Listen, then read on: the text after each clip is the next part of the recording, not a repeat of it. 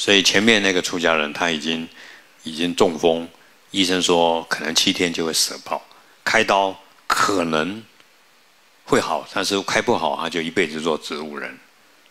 所以那个师傅就就说他不开刀，对不对？他的信徒也说不要开刀，他就准备好好的度过这个难关。所以我就看我丈母娘，她的信徒就一直看着我，一直要我去助念。那当然我很高兴啊，对不对？啊，我就跟他说：“你一起来忏悔。”然后就问问占星师，他为什么为什么会这样？啊，师傅，你跟他讲，他嗔恨心很强哦。再来，为了寺庙啊，可能要很多钱哦，贪欲心很强哦。哦，那我知道，我知道。啊，我就跟他说了，法师啊，不要生气好吗？他就开始哭了。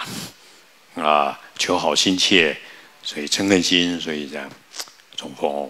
哎，他就给我点头啊，哭啊，啊，那法师就放下吧，因为他自己决定不开刀了啊，就放下吧，发个愿跟我忏悔，往昔所造诸嗔业，我都这样念啊，然后就我帮他念啊，啊，法师寺庙随缘呐，有钱没钱，健康重要啊，啊，寺庙再大，结果走了也没用啊，对不对？啊，因为这佛法比较重要了，所以既然有缘。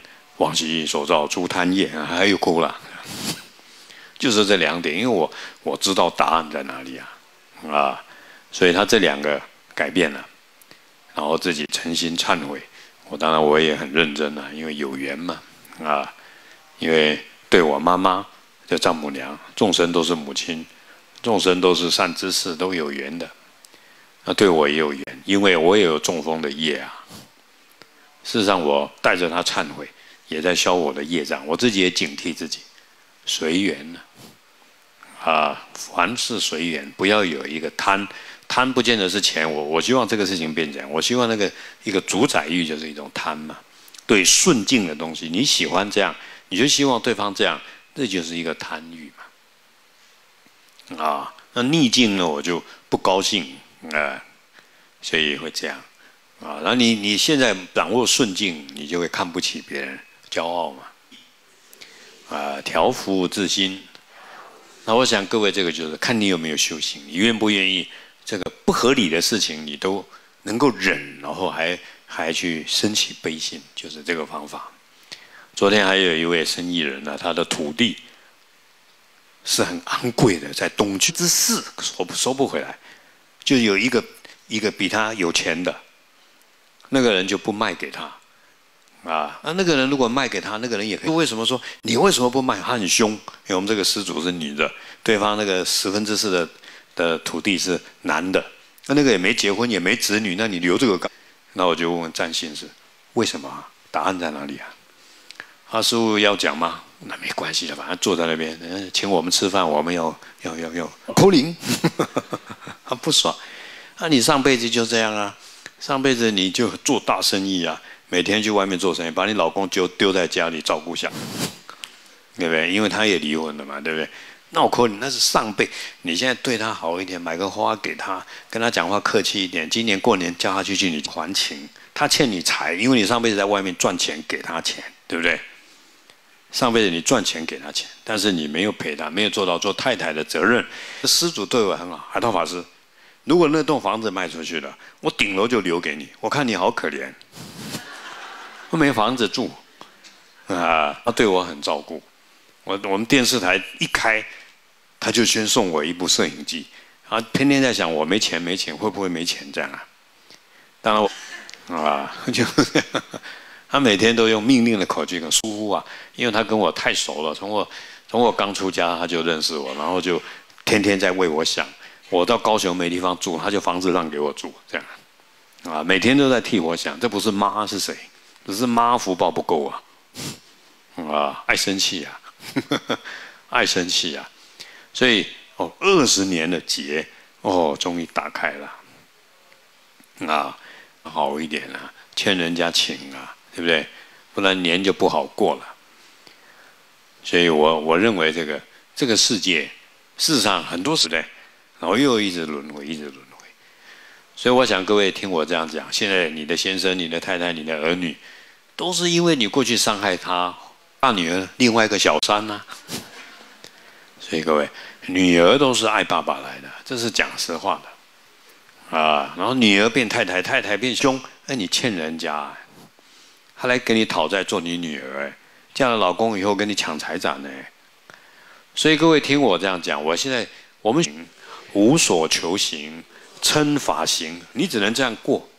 我们是来被讨报的啊，所以那你要随顺因，随缘行，无所求行，称法行。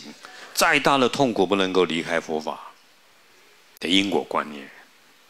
他禅修能力很强，他脑筋一流，他调音响、摄影都一流，因为这是他的天性。啊！但是他就甘愿忙了一辈子，就像刚刚那一位应该出家的爸爸，忙了一辈子都是别人的，你没有什么升起惭愧心来忏悔哦，那我错误了，而且你要观想对方在你面前打你的、骂你的、伤害你的，都是你过去伤害过他。啊，婆婆是一只牛哎，这样啊，她打人家，打打打，那你打人家几鞭，现在还没打完呢。最后把他慢的给杀了，对不对？所以因为我妈妈喜欢吃藕啊藕啊，我要真嫁给了我，所以你皮肤会烂的，会有洞的，要被挖开哎。啊，杀再加上因，你这个业就因缘呢，你起了欲望，脾气不好，这个缘，所以它就发作了。傲慢嫉妒就会让我们的身口意去造业，那你知道了就改变。所以我想各位眼睛痛，赶快忏悔；鼻子鼻塞，赶快忏悔。啊，然后问问别人，我想不见得说他一定要出家人。你的缺点，你的儿女也很了解你，对不对？互相帮助对方。所以各位受了菩萨戒，但是你不要背后讲人家是非，你要你要很找机会跟他点一下。有时候老师说，有些人他很谦虚，像我们占乐法师，你跟他讲哦，师傅谢谢，那这样就 OK 了。啊，所以因为比较比较谦虚的好讲话，我众生都是我母亲啊，打我骂我讲我啊，啊，这因为我愿意的，我我就是要来修行的，所以我经常背这句话来，还薄弱了。事实上，你周围的兄弟姐妹、夫妻都是你最亲的近姻缘，最近的，是来讨报，自己不要享受福报。如果你享受福报，哦，海涛法师去盖个别墅。那你的福报用完了，用完以后，那你病就会来障，来修忍辱，来修悲心。所以我认为各位有家庭啊，就要变成一个人，变成一个人。像我哥哥二十多年不跟我讲话，和理由的对他好，这样就好了，没有计较了，啊，因为这个对自己也是一种一种供养，那对哥哥。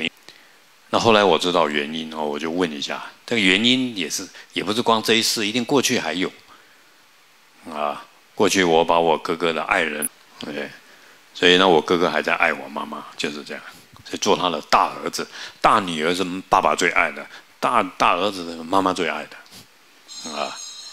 那只是我们了解了，我们要不能起心动念啊。这个人，你你对他好，他为什么伤害你？是因为你欠他的嘛。那你不舒服了？这个就是业来了。那你要从心里面去调。我我得癌症跟我脾气有关系，那就是有关系，也不行。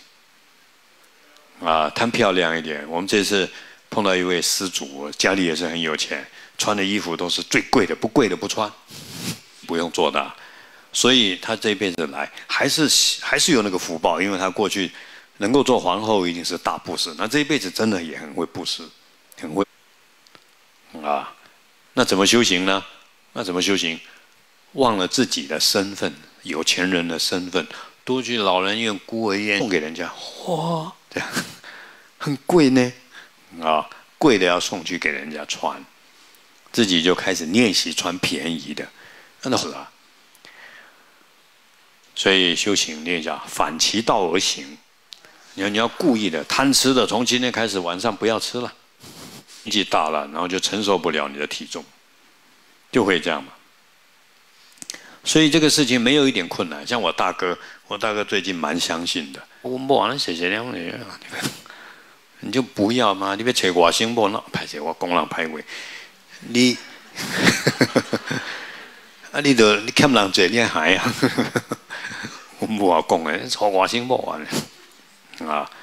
所以，那你欠人家的，你就不要再念了。对，大儿子就跟妈妈又生，然后又又又欠太太债，到底他要站哪一边？啊，那你两边都要嘛，两边都要修忍辱啊，两边都要平等心去对待啊，这样你心态一平，然后这个这个念头没有了，那指数就不起来。再加上吃素，再加上你弟弟出家，天天用着替你放生做功德，对不对？这是因为我大哥一定是我以前的师祖啊，就像我弟弟，因为我弟弟跟我是师兄弟，好在我是师兄。啊，还是做我弟弟，对不对？师兄弟，啊，我大哥是功德主、施主，对不对？所以，那我们要感恩他嘛。没有施主，你也没不好修行啊，没关系。然后你就你要用佛法去对待，你不能再讲世间的道理。我为什么对我这样？他为什么对我那样？你如果去讲世间法，落入世间法，那你就没有修行啊。修行必须站在佛教的。思想来来谈这个事情，啊，那你必须用佛法的正念，保持这种惭愧心、出离心、永恒的不退转的悲心，只祈愿再怎么牺牲，都要去让对方成佛。所以你必须在他身上念一下布施、爱语、力行、同事，你必须去做。像初地菩萨，我看经典，登地菩萨已经很伟大了，他只能做到布施跟爱语，后面做不到。因为他没有那个佛的力量去力行，去承担他的苦不好，好不好啊？老公好不好？儿子好不好？媳妇好不好？回去跟他说，跟我说有用吗？你就降下来了，你为什么不去做呢？啊，因为你有一个愿啊，但是你这一辈子他对你不好，你有没有想到上辈子你对人家多不好了？就辞职，我就不用发年终奖金，为这个头痛啊。所以，那你就会有苛刻的心态。那你现在你说，哎，大包一点，反正你那么有钱，房子还放在那边收房租，人家都还没买房子嘞，你就多给一点嘛，啊，这不会吃亏的，不会吃亏的。所以，我想各位在语言上也不能苛刻。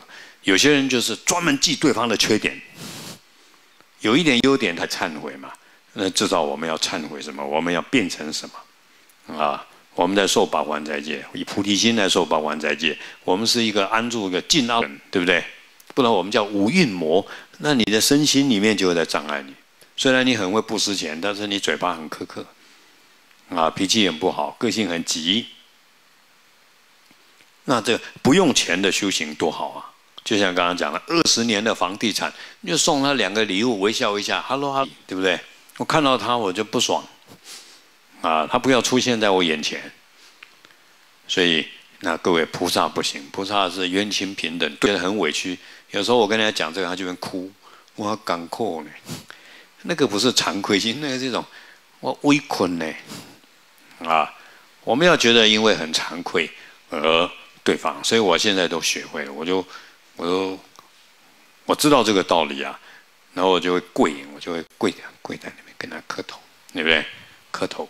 啊，所以，哎呀，我过去对不起我妈妈，我就要把我的妈妈的最爱啊，把她不让她去爱，然后妈妈，我跟你磕头啊，所以，然后跟她忏悔，对不对？啊，母亲为了我们生下我们那个痛苦，我们也要忏悔，对不对？母亲担心儿女，像我出家，我弟弟跟我说，妈妈的嘛，你跟我讲，啊，想想不通嘞，出妈妈还是这个心态，那正常。啊，那这是我的错了啊，因为他母亲担心了，烦恼啊，啊，忏悔，那对方呃需要我做什么，我就尽全力去做就对了，啊，因为我们在服务，那对父母是如此，那对别人都应该如此的，啊，别人传给我，哦，师傅他盲肠炎，哦，我就念，我就一直念，在车上也念，替他施舍，替他念，因为反正这下就 OK，再见，啊。但是对妈妈的执着也是一种烦恼，放不下，放不下反而没有力量帮助她，因为我们是出家人，各位修空性、修菩提心，要要懂得平等，平等，啊，所以你最怨的，应该你要最爱。我们不能置身于世外，只是我们对待我们这些周遭因缘关系，你只能站在佛法的尺度来做事情了。那些法师、女众法，搞不好是我太太啊，这样过去式啊，搞不好是我妈妈啊，就会一直在这一直轮回里面跑不掉啊，所以不能用世俗的心态，一世俗心态起来，马上升起正念，正念告诉我们要怎么处理，不是。但是只是方外人士，这方外是你，你必须脱离世俗法、相对法，你必须绝对站在佛法。但佛法无。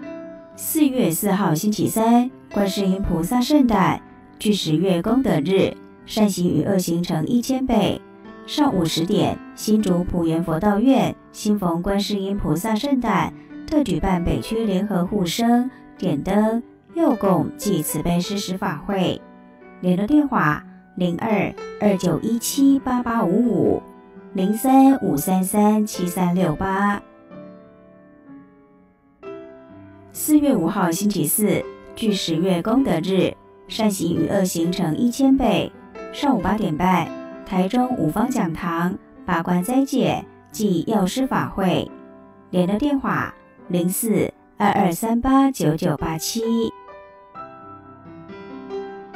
四月六号星期五，普贤菩萨圣诞，距十月地藏菩萨殊胜功德日，善行与恶行成一千亿倍。上午九点半，嘉义慈悲湖新逢普贤菩萨圣诞，特举办清明孝亲报恩梁皇圆满法会暨年度功德主点万灯圆游会。联络电话：零五二二五五八八八零五二一六六七零零。四月七号星期六，距十月功德日，善行与恶行成一千倍。上午十点，台南麻豆护生园清明孝亲报恩护生点万灯供万水慈悲施食暨莲黄法会圆满。留的电话：零六五七一九一一九零六二一三一一一二。四月八号星期日。念卢舍那佛大势至菩萨持斋除罪一千劫，俱十月功德日，善行与恶行成一千倍。上午十点，高雄和春技术学院大发校区篮球场两黄圆满日，南区联合举办护生、点灯、药供暨大蒙山慈悲施食超度法会。联络电话：零七七一零三五二二五五六九九一一。七二二一七四九二二一二三二三。四月十号星期二，具十月莲花生大士殊胜功德日，善行与恶行成一亿倍。下午三点，屏东台糖公司屏东区圆环舒食享宴，点万灯供万水护生佑供暨慈悲施食法会。联络电话。零八七五一六零一八。四月十二号星期四，具十月功德日，善行与恶行成一千倍。上午八点半，云林观音讲堂八关斋戒护生点灯供水药供暨慈悲施食法会。联络电话：零五六三三一五六五。四月十四号星期六，念药王菩萨、药上菩萨持斋除罪七千劫，具十月功德日，善行与恶行成一千倍。上午八点半，台中五方讲堂恭诵药师经，持诵药师灌顶真言，即四十九天药师法会圆满日。联络电话：零四二二三八九九八七。四月十五号星期日，念释迦牟尼佛持斋除罪八千劫，具十月释迦牟尼佛殊胜功德日，善行与恶行成九千亿倍。上午八点半及下午一点半，马关斋戒暨海涛法师与竹奔仁波切慈悲座谈。联络电话：零二二九五一零三五五。敬邀十方大德踊跃前往参加。阿弥陀佛。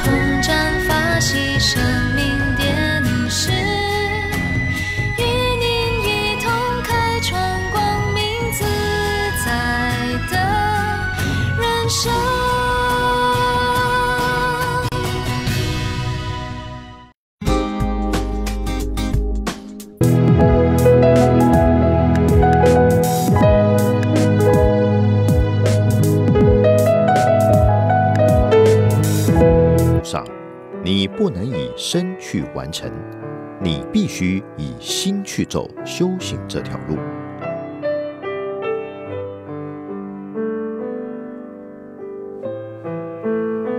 锁在牢狱里的只是这个身体，不要让心灵也被锁住。所居住的房子一样，它并不真的永远属于我们。不走的。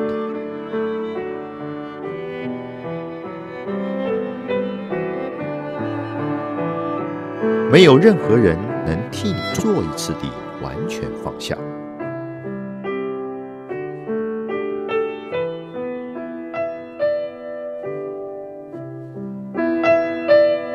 佛法是在修行中升起的，教导只是指出领悟的方法。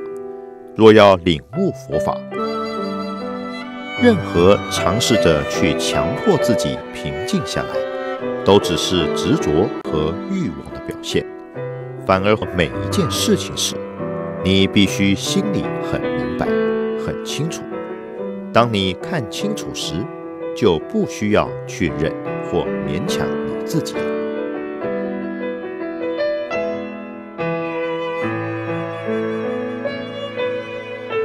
你感到禅修的目的，不仅是经常平静自己。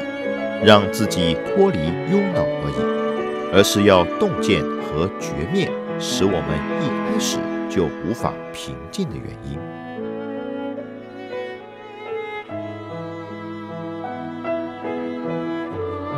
或奋力争取的东西。你所要做的，只是试着保持觉醒。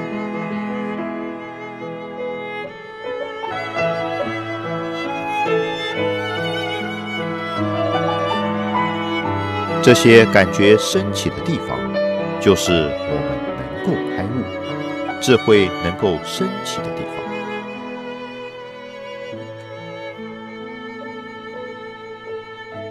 混乱升起的地方，就是宁静可以升起的地方。那里有混乱，我们透过智慧，那里就有宁静。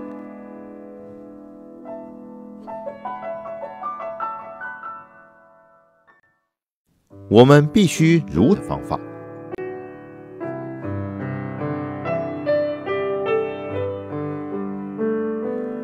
平静是引发智慧觉知者，如实地测见，而不因变迁的现象而快乐悲伤。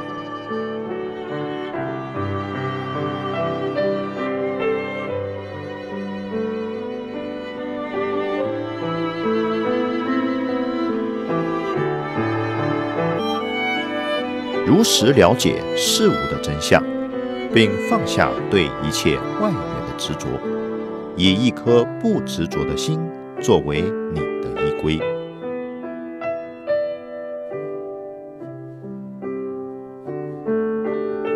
你必须看见，是世界上最单纯的事，却也是最深远的。终究。它是无常、苦、无我的，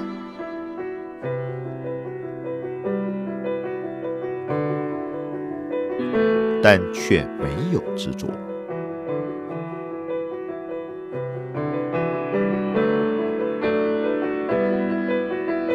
没有人能教你这个真理，只有当心亲自了解时，它才能灭绝和舍弃执着。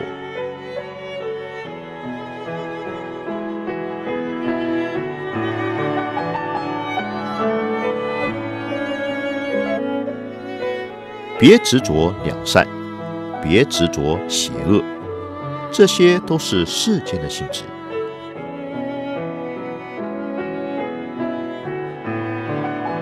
我们修行以超越世间，从而将这些事情带往终点。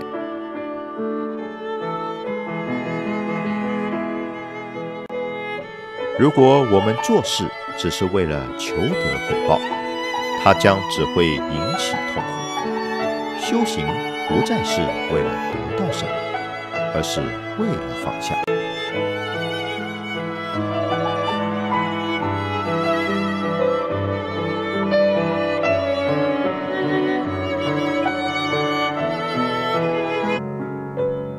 即使连定的境界都不该去执着。坐禅，禅修的目的是为在心觉悟的那一面得以呈现时，让我们能看穿虚假的我的概念。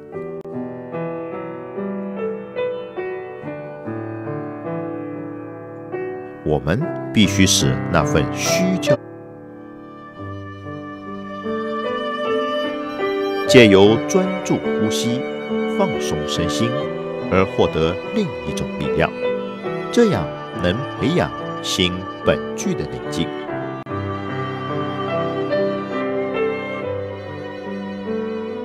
不断地将心专注于呼吸上，便能减少思绪的活动，让心更为平静。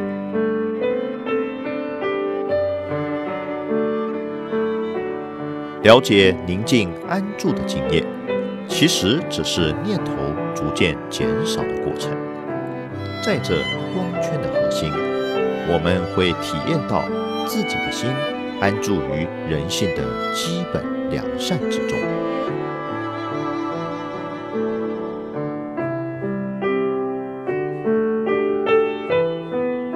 内心开始接受无聊是宁静安住的一部分，这就是进步。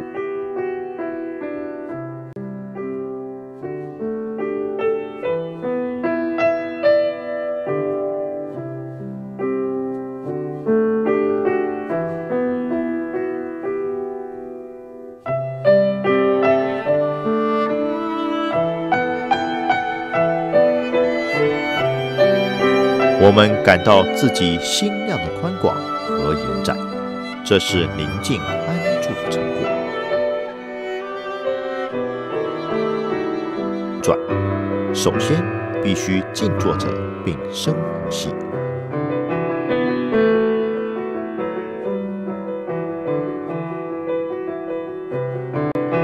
宁静安住就是那个深呼吸。那是除去令人迷惑的混乱，并找到某些基本清醒的方式。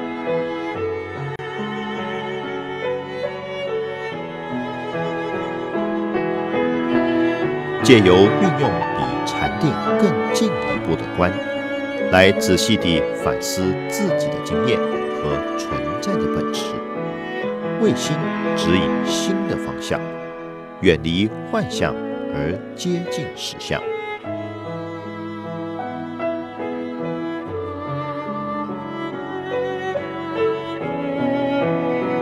借由思维人生的实相，以及心中潜藏的觉醒力量，来粉碎自己的幻象。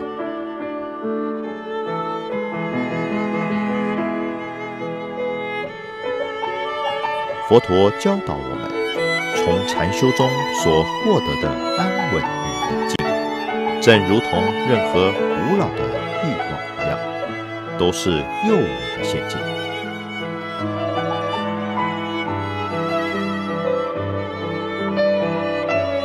当我们修止时，必须向内收摄，来聚合新的能量，透过辨识与放下念头及情绪，来克服迷惑。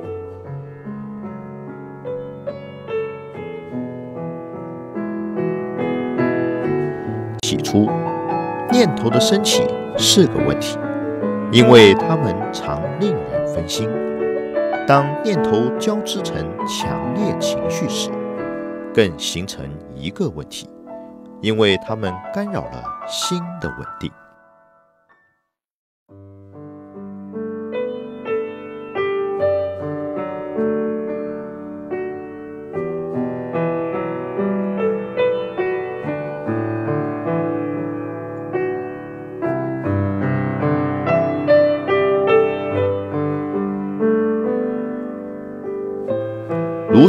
实看住念头，便能截断散乱之流。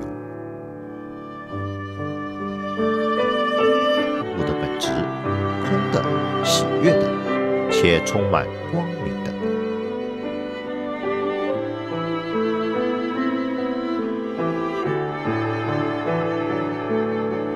觉悟的心所具备的特质，犹如埋藏于冰封地表下的春天的球茎。等到时机与条件都成熟后，便会自然成长。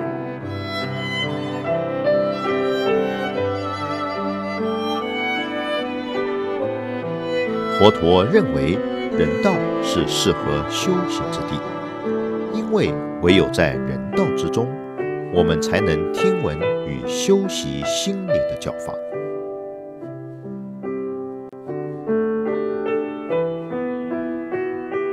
虽然保持耐心或多或少是出于自利的考量，不过凡是出于美德的行为，终究能带领心走向觉悟之路。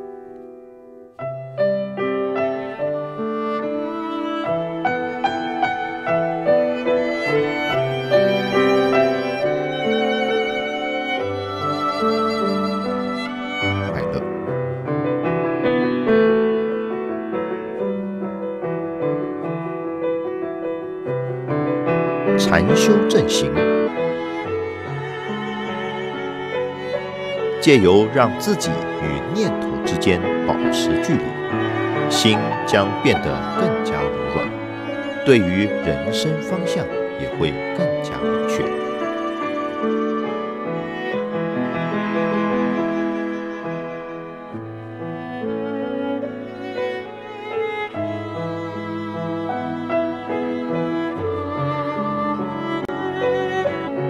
稳定下来，应付内心种种混乱的念头。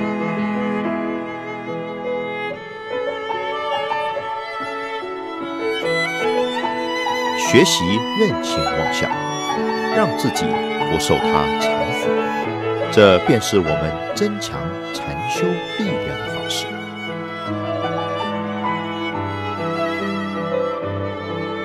为了理解实相的真理。我们必须拥有不受预设的思维模式，完全控制的心，且需具备因渴求而升起真正慈悲的发心。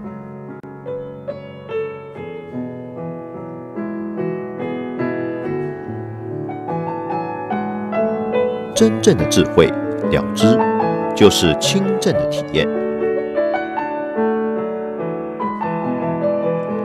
这样的了知，无需透过自我这层滤网，清正的体验即智慧本身，不生不灭，也非静止或流动。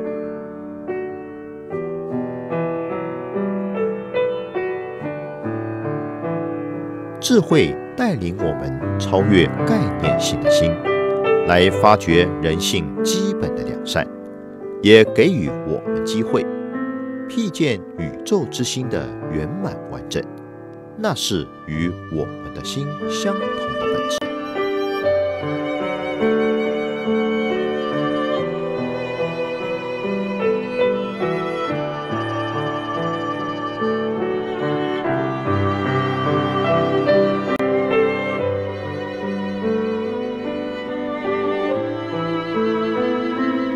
升起。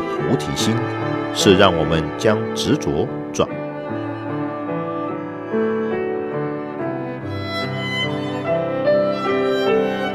物质上的付出，是激发布施心最简单的方式。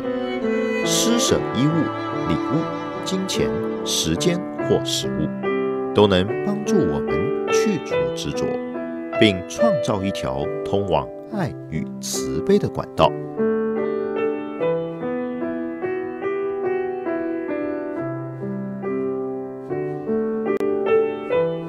在付出的那一刻，其实是相当无私的。